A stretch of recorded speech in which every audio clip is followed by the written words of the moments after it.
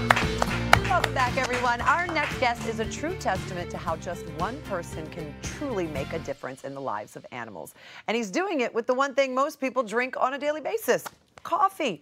Joining us now are pet rescue expert Larissa and the owner of Grounds and Hounds Coffee Company, Jordan Karcher. Welcome, Jordan.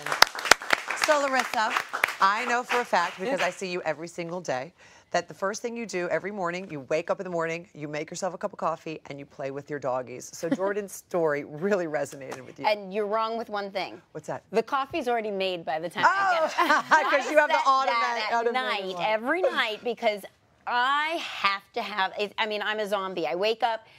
T- Have my coffee and then I let the dogs out. So coffee to me is everything, and then I get back in bed with them for a few minutes and do something Oh, else so and drink my coffee because then my brain turns on a little bit.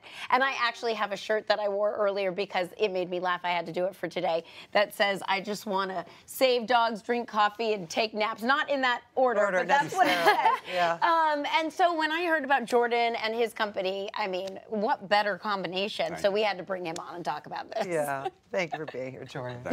Thank you. Yeah, thank you guys so much for having me, and thank you for everything you guys do for the animal rescue world. It's amazing Yeah. to see the platform be used uh, for so much good. Thank you for saying that Thank you. Larissa leads Thank the you. way, I'd Oh, like to say. Absolutely. And your whole life changed one fateful day in Santa Monica when you met the love of your life. Please tell I us did. about that. It's a lot of fate and a little bit of luck. Uh, I was walking to breakfast. I was 24 years old, left my house with no real plans to uh, change my life drastically, but I looked off to the side of the road and I saw a little Dalmatian pop-up adoption. About eight or nine Dalmatians playing and you know, being a normal adult, I decided I have to, to go spend some time with puppies. And I, I look over and there's a, a brown and white malnourished Dalmatian who kind of stands out from the group. And I just wanted to walk up and just see the dogs grab some breakfast.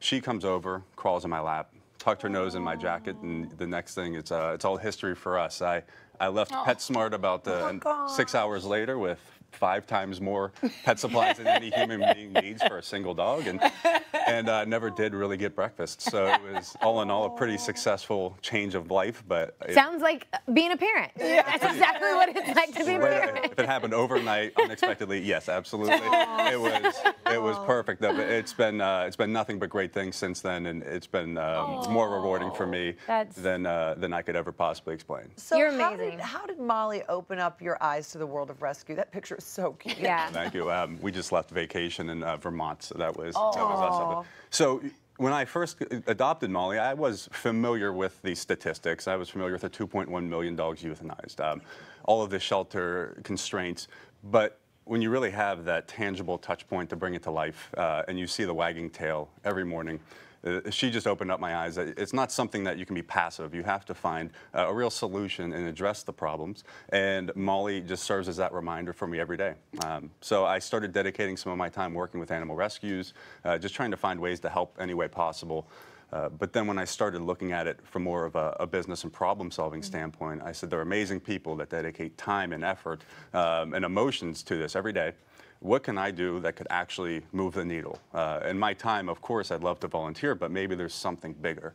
Uh, and that's where Molly just kind of opened up that door for me. And you know, the, everything else since then has been kind of an incredible journey. Yeah, she's really is the reason you launched Grounds and Hounds Coffee. Absolutely. She's the face of the company. She's the inspiration. She serves as our reminder.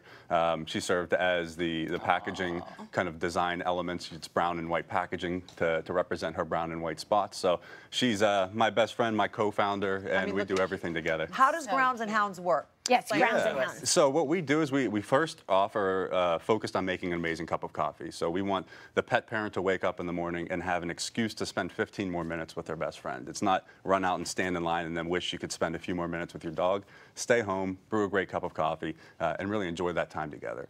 The the next piece is with so many people drinking coffee and so many people loving dogs, we thought if we could get enough or even just a fraction to drink this coffee, maybe we could provide some funding back. So 20% of our profits go back to rescue organizations.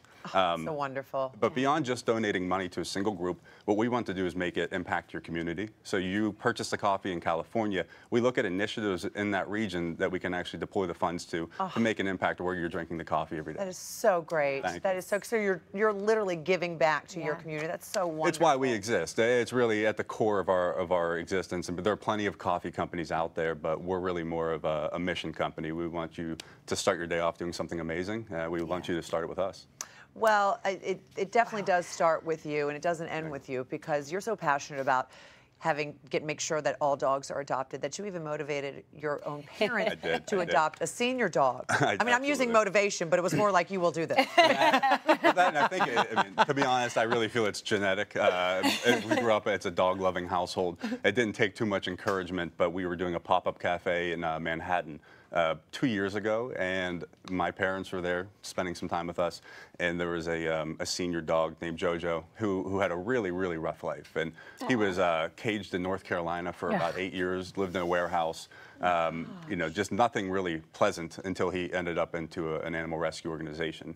And my parents saw that. Um, fortunately, they, they had the means to try to give him a great life, and he came into our family really unexpectedly. Um, but he he really just you know made up for those first eight years. He has been featured in magazines for having all kinds of toys and. Oh, look at and, uh, Jojo. And him and Molly are friends. Yes, yes. So, and unfortunately, JoJo passed from um, cancer uh, just about two weeks ago. So, so the the real thing we like to think about it, it's it's a senior dog. Um, they've already had enough uh, enough of a tough time, and we just want to provide the best possible Yeah. experience for every dog. But there, there's really an emphasis on getting out there and saving these dogs as soon as possible. You know, whether it's one year old or 12 years old, um, we look at it like it's too long to be in a shelter, and, and their lives are so short. so we want to, yeah, we really want to just make sure they have that chance for a happy life, or as much as possible. And if I could say one thing that really struck me when we were talking throughout this process of getting you out here, um, you talked about your final goal being to stop the dogs from being there in the first place. And I think you said a quote to me which just took me back, which was you can get the water out of the sinking ship, but you've got to finally at some point figure out how to plug the hole in the first place. Right. And that is what I know you're working on doing, and I can only thank you for that. And I know a lot of other people. So mm, it's great work. Honestly, thank you Yeah. both. Thank you so much for all you do, Jordan. Really, thank you. And we hope everyone enjoys waking up with our coffee. That's all we can really ask for. Thank you for sharing your story. Thank you for You're having me. really great. You two are great, man.